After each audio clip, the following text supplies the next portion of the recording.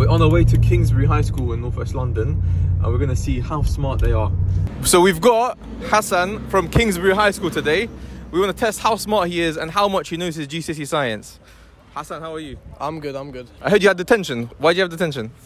I came late to class. All right, no problem. So let me ask you a couple of questions, see how much you learned from school today, yeah? Which ion, in aqueous electrolysis, which ion goes to the anode?